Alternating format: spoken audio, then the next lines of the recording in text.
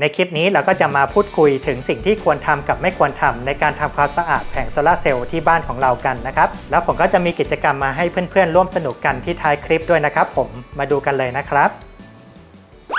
สวัสดีครับ ยินดีต้อนรับเข้าสู่ช่อง Daddy's Tip ครับผมคำถามก็คือทำไมเราถึงต้องทำความสะอาดแผงโซลาร์เซลล์ด้วยคำตอบก็คือเป็นการบำรุงรักษาแผงโซลาร์เซลล์แล้วก็รักษาประสิทธิภาพการสร้างพลังงานของแผงโซลาร์เซลล์นะครับ ซึ่งปกติเราจะติดตั้งแผงโซลาร์เซลล์เอียงไปตามพื้นที่ที่เราติดตั้งนะครับ เช่นเราไปติดตั้งบนหลังคา แผงโซลาร์เซลล์ก็จะเอียงตามหลังคานะครับ หรือว่าแผงโซลาร์เซลล์ที่มากับชุดของโคมไฟนะครับ แล้วก็จะติดตั้งให้มันเอียงสักนิดหนึ่งนะครับผม นอกจากประโยชน์ที่เราสามารถที่จะหันไปทางทิศที่สามารถรับแสงได้ตลอดวันนะครับ เมื่อฝนตกลงมาน้ำฝนก็จะช่วยชะล้างสิ่งสกปรกให้มันไหลออกไปจากแผงโซลาร์เซลล์ด้วยนะครับ ก็ถือว่าเป็นการทำความสะอาดโดยอัตโนมัตินะครับผม แต่ว่ายังไงก็ตามช่วงระหว่างปีก็จะมีช่วงที่ฝนทิ้งช่วงนะครับ ช่วงนั้นเนี่ยก็คือจะมีฝุ่นที่มันเกาะอยู่บนแผงโซลาร์เซลล์ซึ่งถ้าเกิดว่าเราไม่ได้ทำความสะอาดเลยฝุ่น มันก็จะเกาะติดแน่นอยู่กับหน้าแผงนะครับฝนตกลงมามันก็จะชะไม่ออกนะครับผมประเด็นแรกที่เราจะคุยกันก็คือ เราจะทำความสะอาดแผงโซลาร์เซลล์บ่อยแค่ไหน โดยทั่วไปแล้วถ้าตามสภาพอากาศของประเทศไทย เราควรจะทำความสะอาดแผงโซลาร์เซลล์อย่างน้อย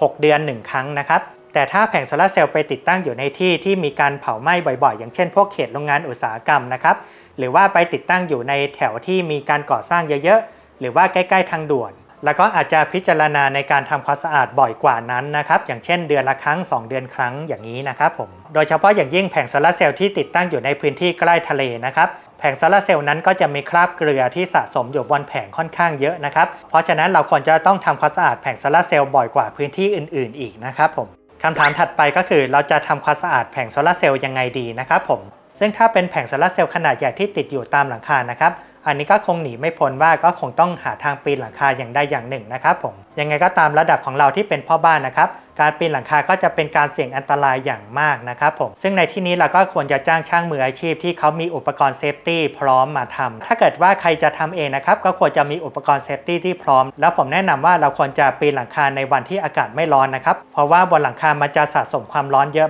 มากๆนะครับผม แล้วก็จะทำให้งานยากขึ้นอีกเยอะเลยนะครับผม ส่วนถ้าเป็นแผงโซลาร์เซลล์ที่มากับชุดของโคมไฟแบบนี้ เราสามารถที่จะทำเองได้ง่าย ๆ นะครับผมถ้าเกิดว่าเพื่อนๆสังเกตนะครับ เวลาที่ผมติดตั้งแผงโซลาร์เซลล์เอาไว้บนเสา หรือว่าอยู่บนหลังคาเนี่ยผมก็จะติดตั้งความสูงประมาณ 3 เมตร ซึ่งก็จะไม่สูงเกินนั้นนะครับผมเพราะว่าความสูงประมาณ 3 เมตร เรายังสามารถใช้บันไดธรรมดาในการปีนขึ้นไปทำความสะอาด หรือว่าบำรุงรักษามันได้นะครับ หรือว่าถ้าเกิดว่าเราจะเปลี่ยนพวกโค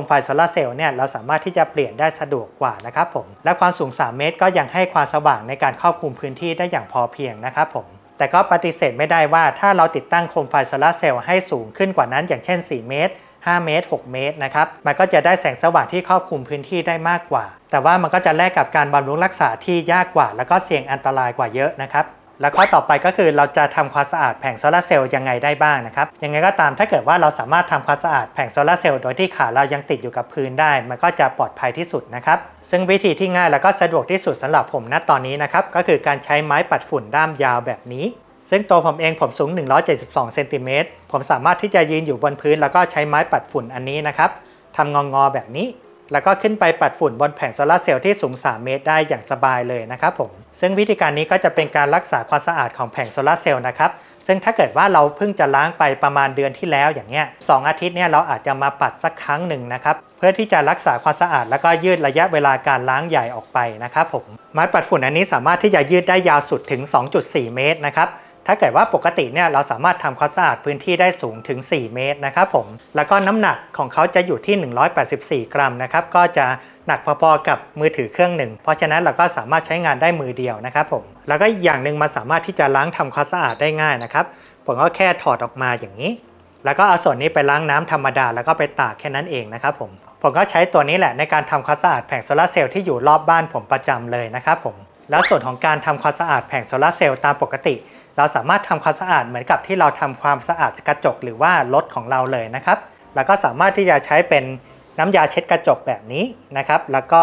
ใช้เป็นผ้าไมโครไฟเบอร์แบบนี้นะครับผม จุดสำคัญก็คือเราต้องไม่ใช้พวกอุปกรณ์ที่มันจะไปขูดขีดกับกระจกได้นะครับ ส่วนถ้าเกิดว่าเราจะใช้พวกสารขจัดคราบนะครับ ก็ให้เราหลีกเลี่ยงสารที่จะทิ้งคราบอยู่บนพื้นผิว อย่างเช่นพวกผงซักฟอกนะครับ แล้วก็พวกสารที่มีฤทธิ์กัดกร่อนทั้งหลายนะครับ อย่างเช่นพวกผลิตภัณฑ์ที่มีฤทธิ์เป็นกรด พวกนั้นเราควรจะหลีกเลี่ยงการใช้นะครับ เพราะว่ามันอาจจะไปกัดกร่อนขอบ หรือว่าส่วนประกอบของแผงโซลาร์เซลล์ได้นะครับผม หรือว่าเราอาจจะใช้น้ำธรรมดา หรือว่าน้ำธรรมดาผสมกับน้ำยาล้างจานนิดหนึ่งก็พอนะครับผม ซึ่งส่วนผสมเราก็จะใช้น้ำสะอาดประมาณ 1 ลิตร ผสมกับน้ำยาล้างจานแค่นิดเดียวก็พอนะครับ แล้วก็อย่าลืมผสมให้มันเข้ากันนะครับผม หลังจากที่เราฉีดน้ำลงบนแผงโซลาร์เซลล์เรียบร้อยแล้วเราก็จะใช้ผ้าไมโครไฟเบอร์แบบนี้ หรือว่าเป็นผ้านุ่มๆในการที่ถูมันอีกทีหนึ่งนะครับ เพื่อที่จะขจัดคราบสกปรกที่มันฝังแน่นอยู่บนแผงโซลาร์เซลล์นะครับผมแล้วหลังจากที่เราเช็ดเรียบร้อยแล้วนะครับ ผมแนะนำว่าให้เราใช้ผ้าไมโครไฟเบอร์แห้งเช็ดอีกทีหนึ่งนะครับผมตรงนี้ก็เพื่อเป็นการป้องกันคราบที่มันจะอยู่บนพื้นผิวนะครับ หรือว่าเราจะใช้เป็นที่รีดน้ำกระจกแบบนี้นะครับ รีดน้ำออกจากพื้นผิวให้หมดนะครับผม